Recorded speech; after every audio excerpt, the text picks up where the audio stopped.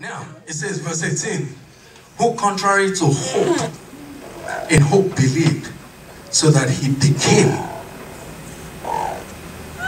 So we have a situation that was naturally hopeless.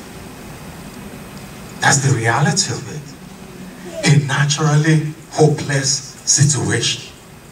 You've been to the best of doctors and they have told you it's hopeless. You, you've looked at the different statistics and you look at your relationship and it looks hopeless. You look at your finances. You've been to the bankruptcy attorney. You've been, you've spoken to everybody and it just appears hopeless. But the Bible said concerning Abraham, even though he was faced with a situation that was hopeless, that he continued, even though it was naturally hopeless, but he continued to hope in God, even though it was naturally hopeless. He continued to hope in God, even though it was naturally hopeless. He continued to hope in God, even though it was naturally hopeless. Ooh. Hallelujah. Hallelujah. Whatsoever may be your situation, whatsoever may be your circumstance, you must continue to hope. Who, contrary to hope, in hope believed. So, because he believed, in hope he believed, he became. How did he become? He there was no hope.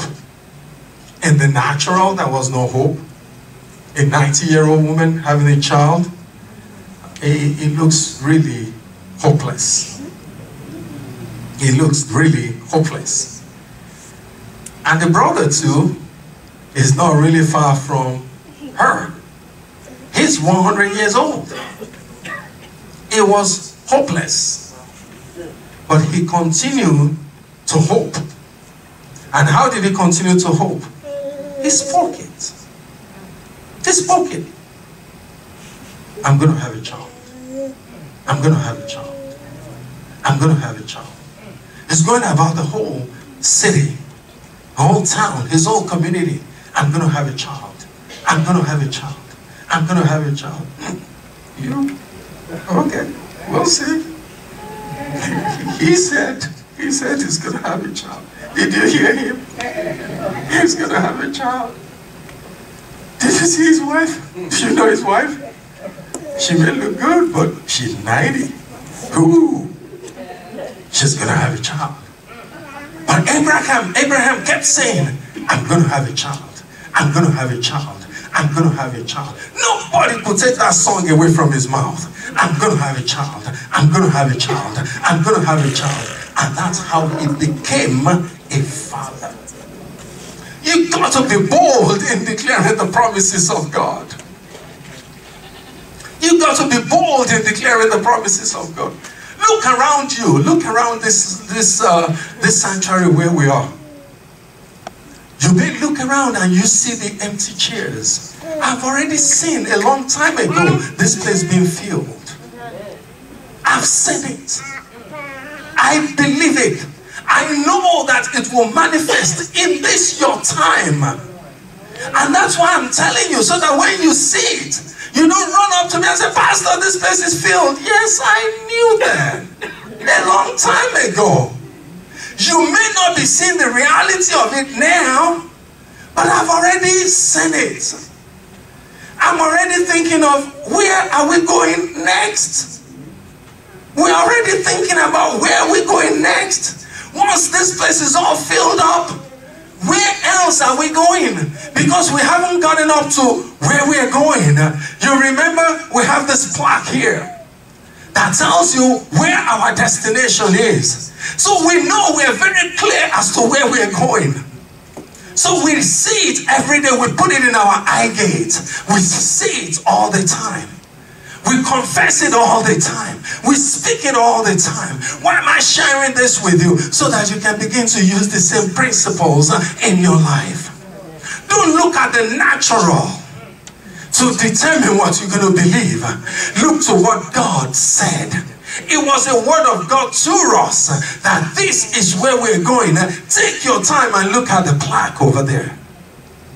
And therefore, I'm not making plan for what I see right now. I'm making plan for what he's telling me, where he's taking me. Oh, can I get an amen from somebody? Abraham kept saying, I am going to have a child. I am going to have a child. You can laugh, you can smile, you can do whatever. You can sneak up behind me, but I am going to have a child. And the Bible said, and he became a father.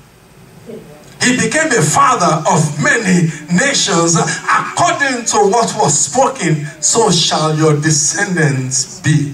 The Bible said in verse 19, not being weak in faith, he did not consider the natural circumstances, his own body already dead. So that don't make a mistake that maybe something was still happening there. He said his body was already dead. Since he was about 100 years old, and he did not consider the deadness of Sarah's womb.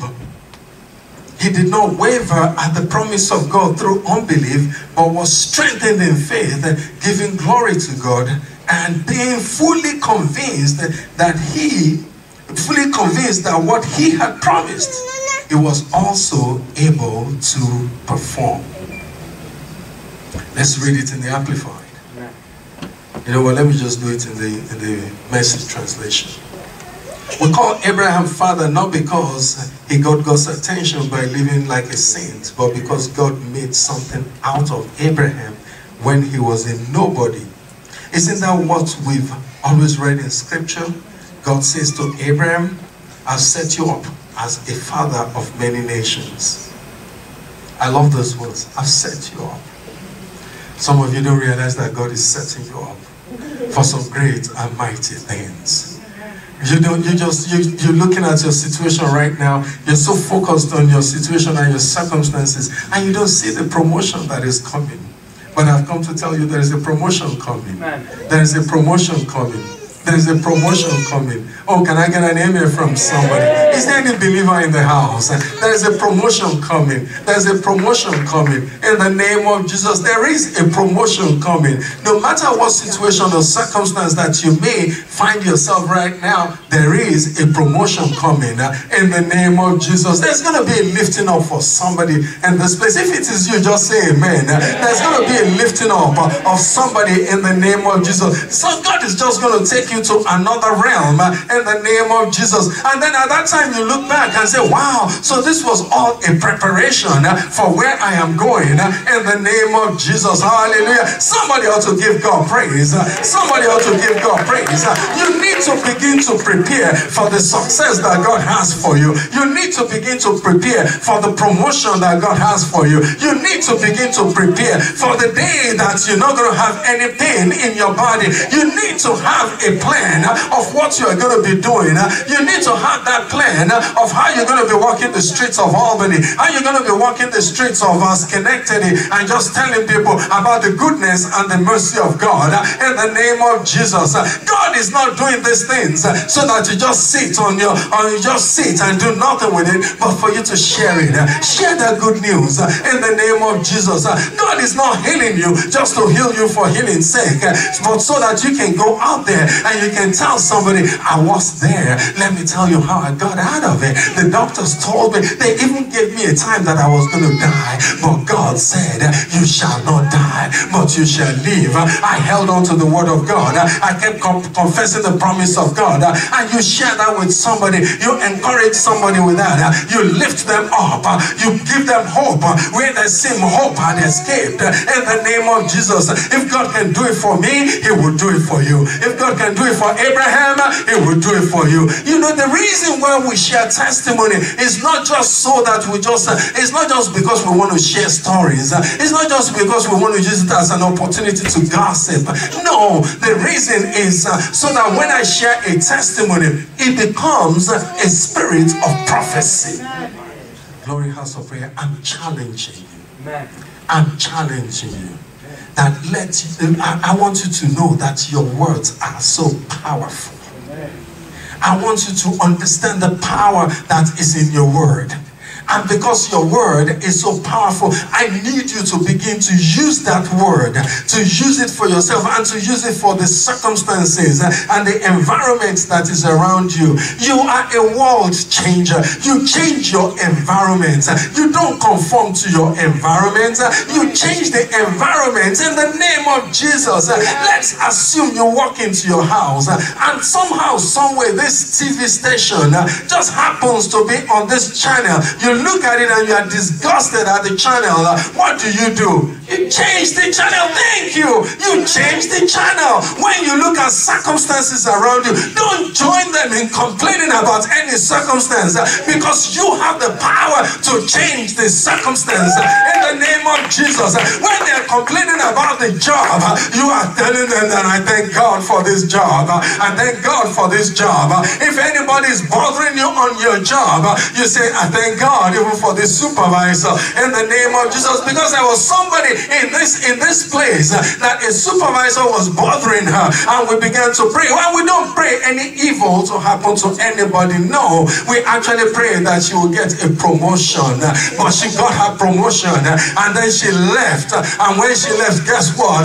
Then our own now has a time of peace and a time of joy on her job in the name of Jesus. Hallelujah. You are a world changer. You change your circumstances. That is why you cannot afford to spend time talking about your circumstances. It's not because I don't want to hear about your circumstances, but I really need to focus your attention on your goal, where you're going.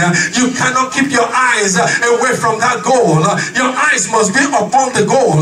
Your eyes must be upon the goal because you are going to get there. You are destined for greatness. You are empowered to fulfill your destiny because you have an intimate relationship with God. Therefore, you transform your life and you transform lives around you and you positively influence your society. I just told you the mission of Glory House of Prayer. Somebody give God praise. Hallelujah. Hallelujah. You have it on the walls. You need to know it. Hallelujah. Now, now, where did we get up to? When everything was hopeless, Abraham believed anyway, deciding to live not on the basis of what he saw he couldn't do, but on what God said he would do. And so he was made father of a multitude of peoples. God himself said to him, You're going to have a big family, Abraham. Hallelujah. We believe in Glory House of Prayer we're going to have a big family. Amen. Amen. So be ready when your family comes in. Amen. Amen. Be prepared for your family when they come in. Amen. That's why anybody that's working in Glory House of Prayer right now, we walk in excellence. Amen.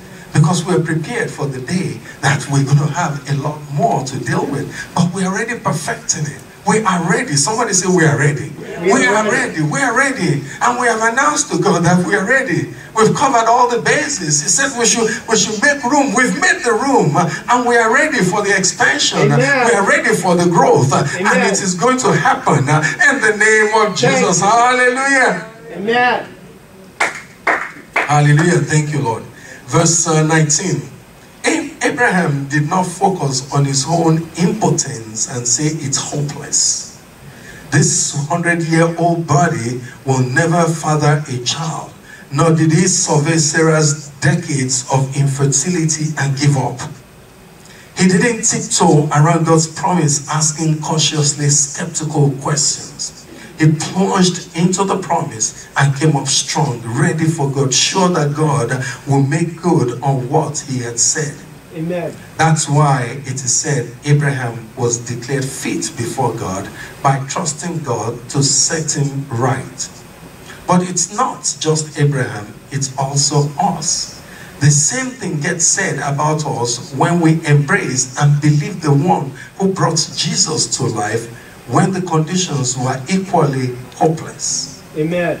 The sacrifice Jesus made us fit for God, set us right with God. Somebody say hope in God. Hope in God. Hope in God. Thank you, Lord. Abraham believed God. And the Bible said it was accounted to him for righteousness. I like the part that said that he was fully convinced. Another translation said he was fully persuaded. The problem with most of us is that we are not convinced. We are not persuaded. We are not fully convinced. Sometimes we are convinced. Some days we are convinced. But some days when the ache and the pain is so strong, it's kind of like challenging to be fully convinced. Amen. But I've come to get you to the point where the aches and the pains will not determine what you believe. Amen. I'm not saying that I, am not, I'm not, I'm not saying that I'm not acknowledging the aches and the pains. It's real, and I know that it's real. But I want you to acknowledge more the word of God yeah. than the word of the pain. Thank you. I want you to aware, I want you to focus your attention on the word of God in spite of what the pain is saying. It's two different voices speaking to you. The voice of the pain and the voice of God. And whose report will you believe? You must believe the report of the Lord in the name of Jesus. Hallelujah. Hallelujah. Hallelujah. No matter what the doctors have told you, hope in God. Somebody say hope in God. Hope in God. Hope in God. Hope in God. Thank. Romans 5 5 says, Now hope does not disappoint. Hmm. Hope does not disappoint. Now hope does not disappoint because the love of God has been poured out in our hearts by the Holy Spirit who was given to us. It's, it's, it's a much, uh, uh, the Amplified gives us a better idea of what is being said here. Because you, you've had hope that did not manifest. You truly hoped. You believed. You have a confident expectation that something was going to happen and it did not happen. But the Bible is saying that hope does not disappoint. So how come that it didn't happen at that time if hope does not disappoint? Now look, take go with me to the to the amplified. And the Amplified used a word that changes the whole dynamic of it. It says, such hope. So there is a different kind of hope that does not disappoint. Such hope never disappoints or deludes or shames us, for God's love has been poured out in our hearts through the Holy Spirit who has been given to us. So now we need to go back and find out what kind of hope is he talking about? Such hope does not disappoint. So, what kind of hope does not disappoint? Because we've gone through the situations and circumstances that we had the hope and things did not manifest. And go with me to verse uh, 1. Let's start from verse 1, chapter 5, verse 1. So, we're trying to find out what kind of hope does not disappoint. It says, Therefore, having been justified by faith, we have peace with God through our Lord Jesus Christ, through whom, this is, this is it, this is it, through whom we have access by faith into his grace in which we stand and rejoice in hope of the glory of God. So when your hope is in the glory of God, that hope will not disappoint in the name of Jesus because the love of God has been shed abroad in your heart. So much it has been shed abroad in your heart.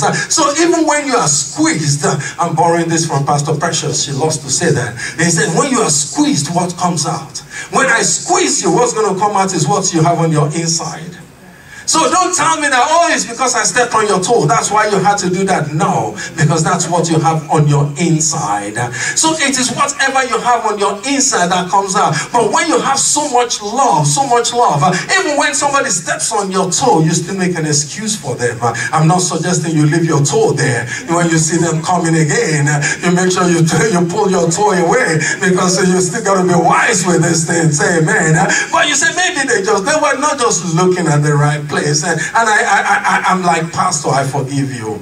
Even before you do it, I forgive you. Amen. Somebody say, somebody say amen. Amen. Thank you, Lord. Hallelujah. Thank you, Lord.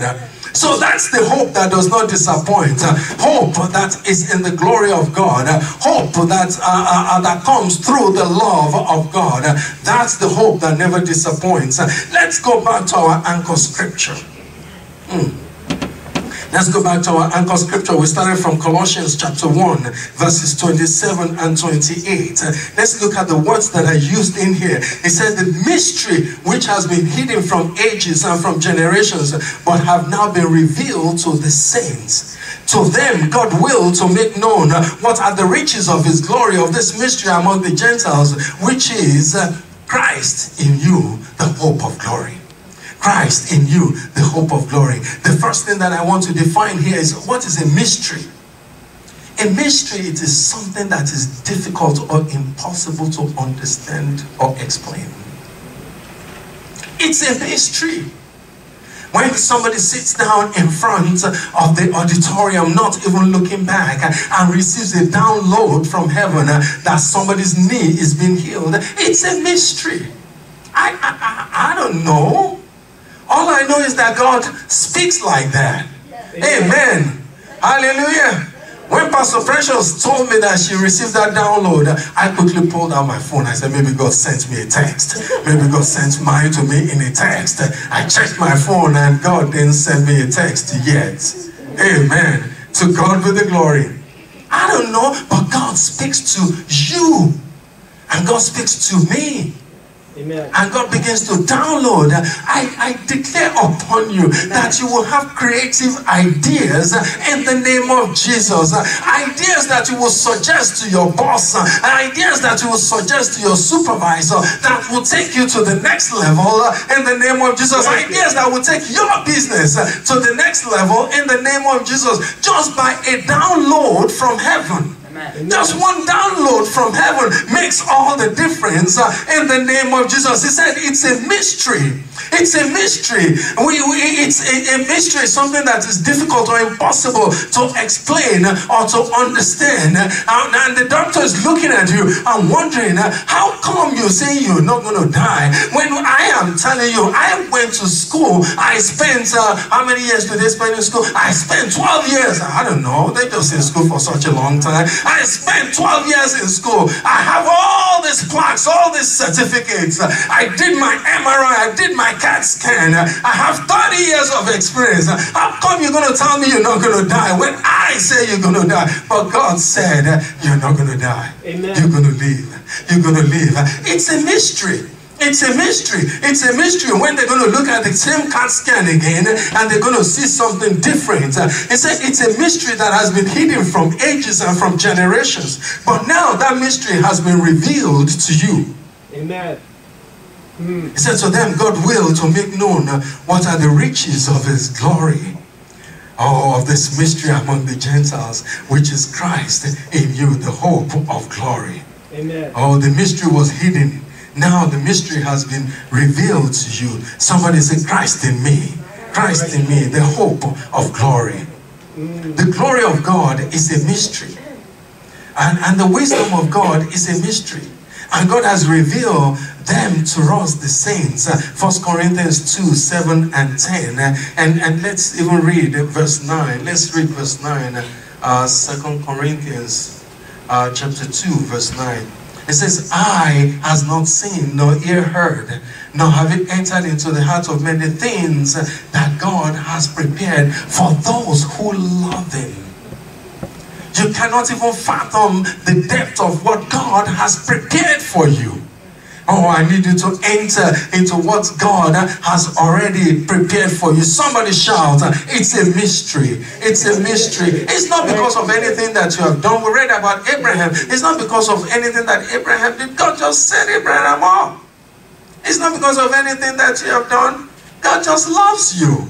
Amen. Amen. Somebody say, I'm God's favorite. I'm God's favorite. Yeah. Amen. I should have said that first. I'm God's favorite. Amen. Hallelujah.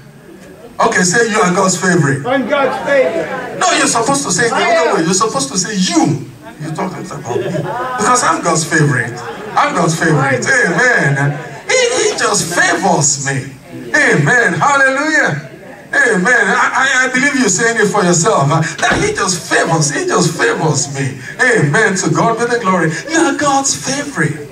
Amen. You are highly favored uh, in the name of Jesus. And why, why does God favor me? It's a mystery. It's a mystery. I'm not going to stand before you and say, oh, it's because I'm so good. Oh, I pray so many times. I'm not going to tell you that. It's a mystery. I wonder. And if you ask Pastor Precious, she will wonder too. Amen. To God be the glory. Hallelujah. But God loves you. And if I were to know you very well, I would wonder too. Amen. So don't laugh at me alone. It's a mystery. But God loves you. No matter what your station is in life, He loves you. And it's a mystery. Amen. Hallelujah. Thank you, Lord.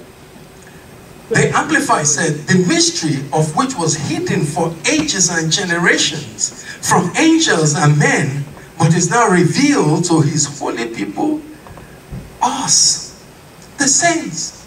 It is revealed to us, to whom was pleased to make known how great for the Gentiles are the riches of the glory of this mystery, which is Christ within and among you, the hope of realizing his glory. Mm. Thank you. The glory of God is the presence of God. And, and I don't have much time to go into the glory. But you remember when Moses said, Show me your glory, the Bible said that the presence of God passed in front of Moses. The, the glory of God is the kabod of God, the weight of God, the heaviness of God, the very essence of God, the weight of God, the presence of God. And if you have the presence of God working with you, Amen. being with you each and every time. I need somebody to hold their heads higher, no matter what the situation is, because I got God on my side. I, I, I don't know about you, I just have that confidence that God is on my side. I just I just have that boldness that God is on my side. Yeah. When I know He's on my side, I know that I can afford to be bold. I know I can afford to say what He's saying. I know I can afford to hear from Him and declare whatsoever He tells me in the name of Jesus. Hallelujah. Hallelujah. Thank you, Lord. Thank you, Lord. Thank you, Lord. The message uh, says this mystery has been kept in the dark for a long time, but now it's out in the open. God wanted everyone, not just Jews, to know this rich and glorious secret inside out, regardless of their background, regardless of their religious standing. The mystery in a nutshell is just this Christ is in you. So therefore, you can look forward to sharing in God's glory. It's that simple. That's the substance of our message. You remember that another portion of the Bible tells us we are partakers of the divine nature of God. It's a mystery that God will share his nature with humans. It's a mystery. But he said that mystery has been revealed to you. To you, it is no longer a mystery. Hmm. It's a mystery that God loves us so much. It's a mystery. But he loves you. It's a mystery. Thank you, And that mystery must make you to be bold. That mystery must bring about a boldness in you. A boldness to declare the promises of God in your life in the name of Jesus. It's a mystery. It's a mystery. Hallelujah. Thank you, Lord. Thank you, Lord. Thank you, Lord. It's a mystery that will make you to always hope for the best in God. Thank you, Jesus. Keep your hope alive because you have hope in God. You must believe that everything is going to be all right. I hope I'm speaking to somebody today. Everything is going to be all right. Thank you. It is going to be well in the name of Jesus. Yeah. As you leave this place without hope in you, as you step out, you begin to get signals and things will begin to happen that will change circumstances that you thought was impossible. It's a mystery. It's a mystery. But you have to be fully persuaded like Abraham that if God said it, I believe it, and that settles it. You have to be bold in your hope. And you must be bold in your desire. I need somebody who is bold and who hopes in God. Give God something to walk with. Give God something to walk with. It, it, may sound like God doesn't need something to work with. No, but that's not what the Bible teaches us. He needs something from you to work with. He needs something from you to work with. He has given, he has given, he has given, but he needs, he just needs a little bit of material, a little bit of material to work with. You've got to give him that. You've got to give him, Abraham had to give him something to work with. Abraham had to walk around uh, and saying, I'm a father of nations, I'm a father of nations. Uh, even though when it appeared that this situation was hopeless, uh, Abraham gave God something to walk with.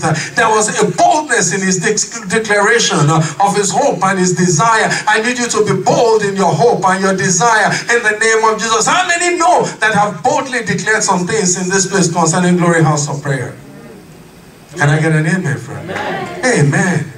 That's how I need you to be bold in declaring the things and never let the circumstances of what you see determine what you're going to say. You say what God said, you don't say what the situation says you say what God said. God said to Abraham, you are going to have a child that is going to come through Sarah. And he continued to say it. And as he was saying it, he became a father of that child. Give God something to work with. You need to develop some hope in you. I need you to have some hope of something you may think it's impossible, but just continue to hope. In hope, believing. I just believe like Abraham in the name of Jesus. Hallelujah. Thank you, And now this is the icing on the cake, and I'm going to end with this. This is the icing on the cake. When you give God something to work with, uh, Ephesians chapter 3, verse 20. When you give God something to work with, he now says, Now to him who is able to do exceedingly abundantly all that you ask so you are giving him a little. All you have said is, This is my hope, this is my desire. But he's such a good father. I don't know about you, but as good parents, you want to give even more to your children. Even if they ask for one, you want to give them two. If, if you can afford it, you want to give them as much as you possibly can afford to give them. And our Father owns it all. He can afford to give us whatsoever we desire and even more. So he said he will give unto us exceedingly abundantly above all we ask or think according to the power that works in us. Let's look at that from the Amplified. Now to him who by in consequence of the action of his power that is is at work with us, His power that is at work with us, His power that is at work with us, is able to carry out His purpose and do super abundantly, far above and far over and above all that we dare to ask or think, infinitely beyond our highest prayers, desires, thoughts, hopes, or dreams. So, whatsoever you are hoping for, God is able to do exceedingly abundantly beyond what you are hoping for in Jesus' name. But he said it is according to the power that works in you. The power of you must desire it. You must desire it. You must desire it. You must desire it. You must desire it. And let me give you a hint of where we're going next week. You must desire it that it becomes a picture in your mind.